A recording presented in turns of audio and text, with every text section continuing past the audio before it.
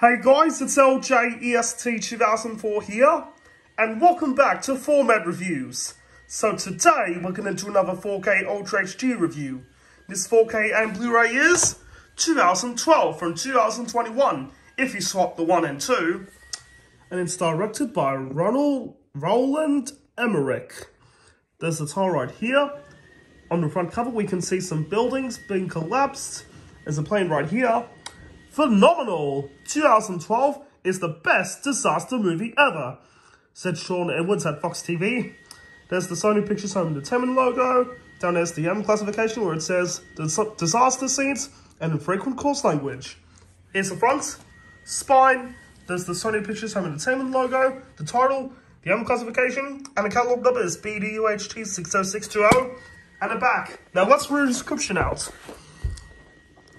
From Roland Emmerich, director of The Day After Tomorrow and Independence Day, comes the ultimate action-adventure movie exploding with groundbreaking special effects. As the world faces a catastrophe of apocalyptic proportions, cities collapse and continents crumble.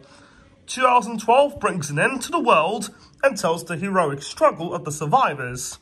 Starring John Cusack, Chiwetel Ejiofor, Amanda Peet, Danny Glover, and Woody Harrelson. Uh, exhilarating and jaw-dropping, said Paul Fisher at Dark Horizons.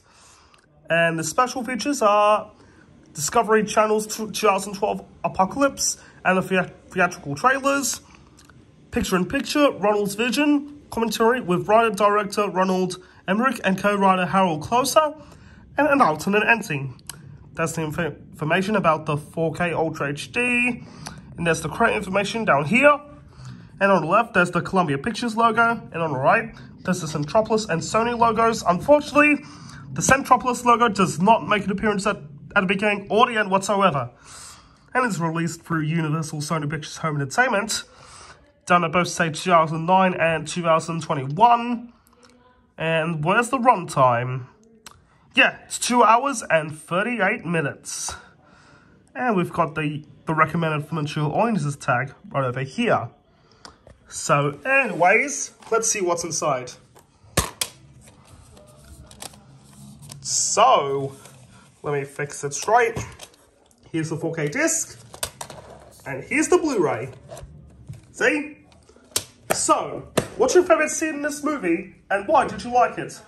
Please leave a comment down below. And you know what? The world did not end in 2012 and it's still going.